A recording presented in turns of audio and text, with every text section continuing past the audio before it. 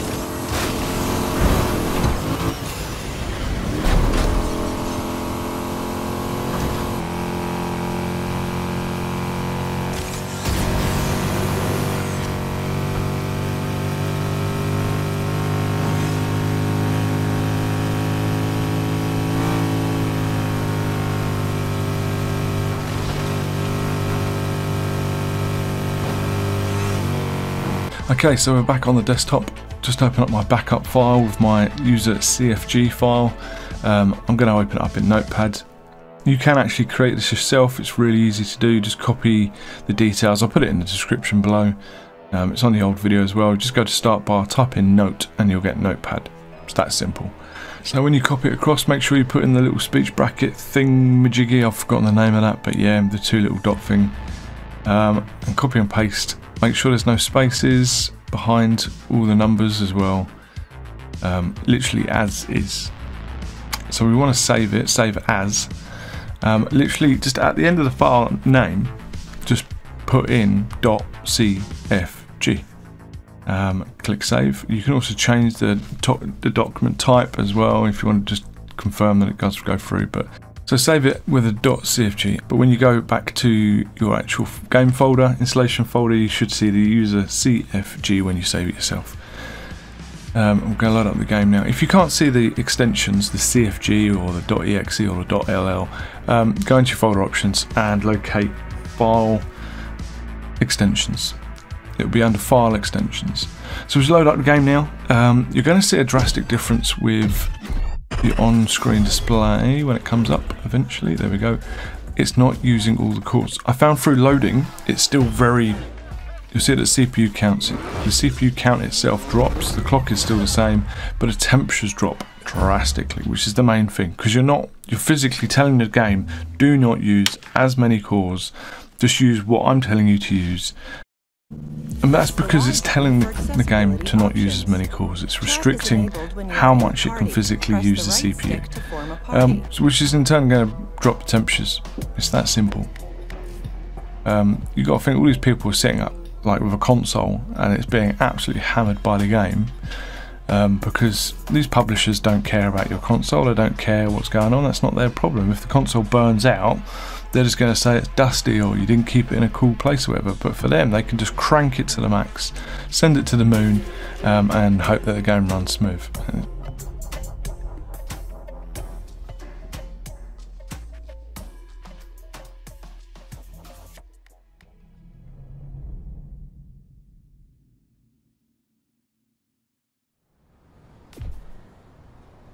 Bobby's Camaro.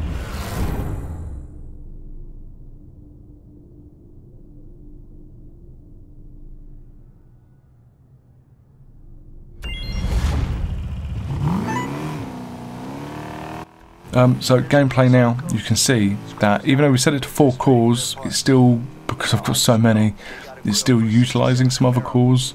Um, obviously I'm screen capturing as well, so a few of those little cores are going to be used for the screen cap software. But as a whole, it's running four cores and they're kind of like mid 50% usage. Uh, temperatures are mid 50s or be it high 40s. So we've seen like a good 10 to 20, 10, 15, 20 uh, degree drop in temperature, which is great. It's flowing a lot smoother. The GPU is being used a bit more, but it's still not at the high clocks, which is interesting. Um, but yeah, I'm going to let you just watch through this gameplay. This is just showing, like, you know, I'm trying to thrash the game around, load different things, and cause as much particles, and gets uh, get the speed up in the car, and just just push the game in different ways. A normal player would. So I'm going to jump back on at the end of this clip.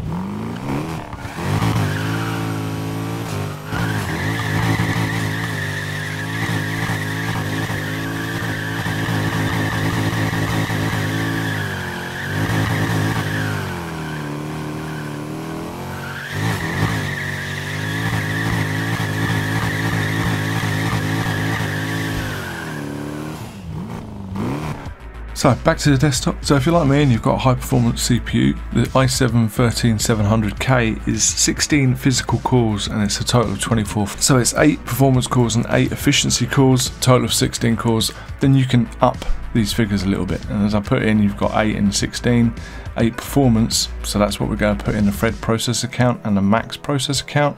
We're just going to change those three digits. So 8, 8, and then change the 4 and 8. Make sure there's no space leave the rest as is. And we're going to save that file. You can save it on exit, it's not a problem because it's just going to keep saving it as the same file type. And we'll load up the game again. So I have tried it with three people that are still running tri CPUs, um, tri cores and what have you. It doesn't like three. It doesn't seem to like anything below four. which is a bit strange. But if you're running a 6 core CPU, just put it as 4. If you're running 8, keep it as 4. Um, I wouldn't, if you're running 8, I wouldn't put it 6. It, it was a bit unstable. But anything above 8 is pointless. I think 8 is really the limit of where you need to go for this game. There's no point putting it any higher, like 10, 12, 14, 16 or whatever. Don't put it as odds. Don't do 5, 7, 9. It just it gets weird. Um, but as you can see, firing up the game, cores are settling themselves down, clocks are still the same, temperatures the mid 50s. GPU is being the GPU doing its thing. So let's get into the gameplay and you'll see quite an interesting change. Bobby's